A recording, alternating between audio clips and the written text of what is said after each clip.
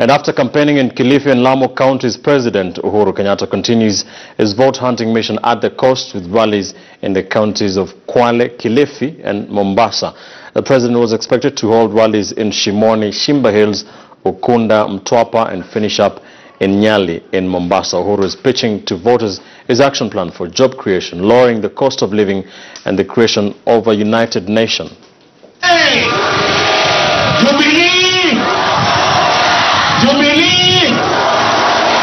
Jubilee! Sikizeni vijana, sikizeni ndugu zangu, watu wa Kilifi, ndipo tutakapoamua kama Kenya. Hapa Kilifi, mimi nataka niwaambie ndugu zangu, imekamilika ama bado? Barabara, lakini miaka nne ya Jubilee tumetoa barabara ya kutoka kule Malindi kwenda hapa Kaloleni huko, huko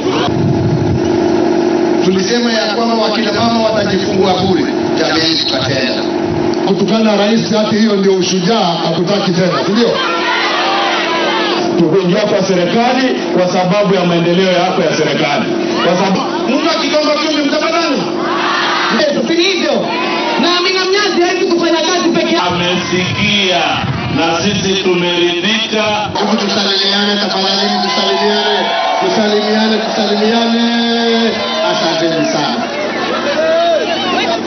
Wanakaa wengine ambao hawakuamini ya kwamba wanaweza kupata mwangaza.